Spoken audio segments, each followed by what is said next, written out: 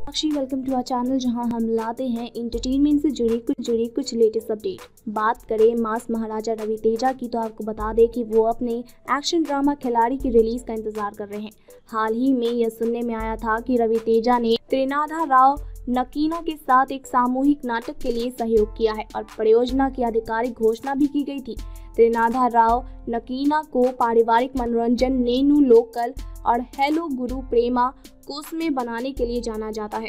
अब नवीनतम अपडेट के अनुसार, चूँकि रवि तेजा की झोली में कई प्रोजेक्ट हैं, इसीलिए उन्होंने इस प्रोजेक्ट को छोड़ने का फैसला किया है। अब फ़िल्म उद्योग में नवीनतम चर्चा के अनुसार, त्रिनाधा राव नकीना अगले प्रोजेक्ट में वरुण तेज को लेने की कोशिश कर रहे हैं। त्रिनाधा राव नकीना, गड्डाल कोंडा, गणेश उर्फ़ वाल्मीकि में वरुण तेज के प्रदर्शन से बहुत प्रभावित हैं। उन्हें लग रहा है कि वरुण एक आदर्श कलाकार होंगे। अब हमें इंतज़ार करना होगा और देखना होगा कि वरुण तेज, रवि तेजा की खारिज फ़िल्म के लिए हरी झंडी देते हैं या नहीं। थैंक यू सो मच की watching for more entertainment news and update